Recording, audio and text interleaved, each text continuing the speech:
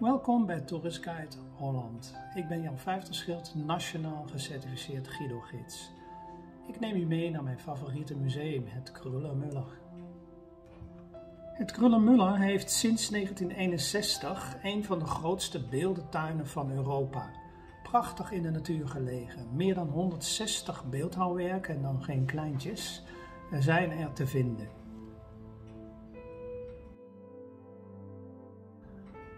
Mayol was geïnspireerd door klassieke oudheidssymbolen.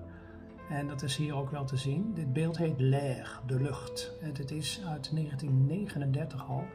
Hij is in 1962 in brons gegoten. Een ander kunstwerk uit 1960 is de sculptuur flottante van Matapan. Het beweegt op de wind mee en draait mee, zo het is constant in beweging. Snelson, de Needle Tower uit 1968. Bruggen, hijskranen, containers, uh, constructies. Deze 26 meter hoge toren trekt zichzelf aan kabels als het ware overeind. Nou heb je geen verstand van kunst, maar ben je wel gek op techniek, dan kun je hier je hart ophalen.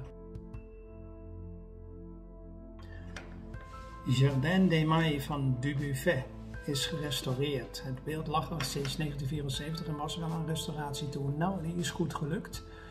Want er is een prachtig wit landschap ontstaan waarin wat je verblindt als je erop loopt. Want het is een kunstwerk waar je op mag lopen.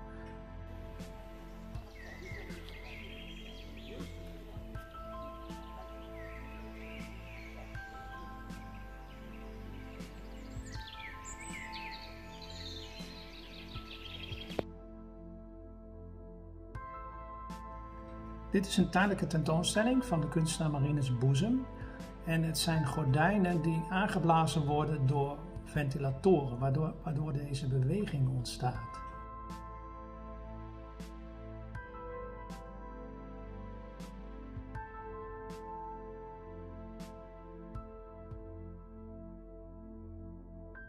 In kleuren mooie overgang, Mondriaan,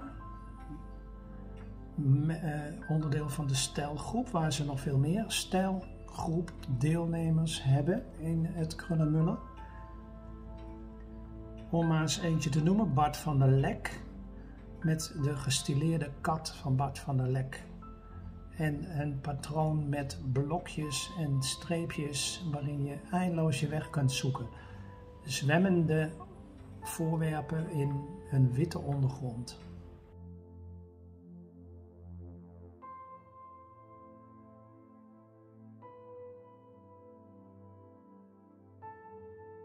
We lopen door de kunstgeschiedenis. Cubisme met Braque en Picasso zijn er ook te vinden in het Krullenmuller.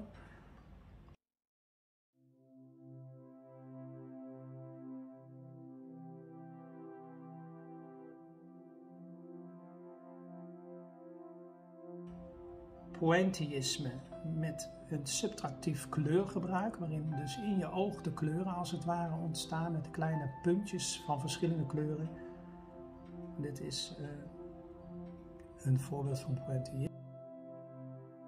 En uiteraard een hele serie van Goghs, waarvan het Nachtcafé wel het beroemdste is.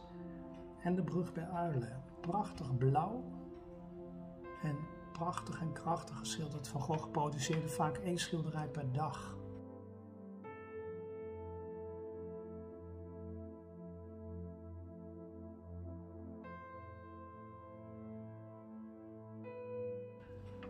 Treintje op de dijk van Monet. Zo'n onderwerp zouden we heden ten dagen niet meer uh, kiezen om een trein als symbool van de voortgang uh, te nemen als onderwerp. En hier een ander onderwerp, dat is het schildersbootje van Monet. We kennen Monet natuurlijk allemaal van de waterlelies, maar daarvoor moet je naar Frankrijk.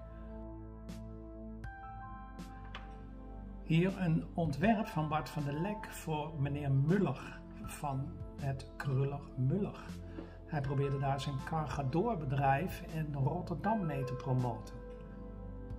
Helene Kruller-Muller was de mede-eigenaar van het Kruller-Muller Museum en Helene ging kunstgeschiedenis volgen bij meneer Bremmer. En ze was zo rijk dat ze besloot de kunstwerken dan maar aan te schaffen.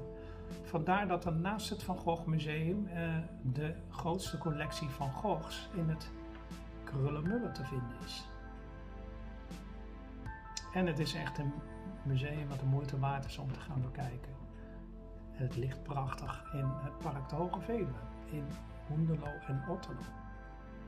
Hartelijk dank voor het bezoek aan onze site www.toeristguideholland.nl Ja, u kunt ons natuurlijk boeken als gids. U kunt ook zelf prachtig door dit museum lopen. Het zal u verbazen. Als u er nog nooit geweest bent, dan mist u echt wat. Tot ziens wellicht.